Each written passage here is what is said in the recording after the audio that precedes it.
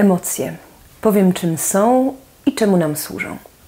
Zapoznam Państwa z listą emocji w celu rozszerzenia słownictwa emocjonalnego, które korzystnie wpływa na rozwój naszej inteligencji emocjonalnej. Powiem również o niebezpiecznych przekazach kulturowych, na przykład chłopaki nie płaczą lub złość piękności szkodzi.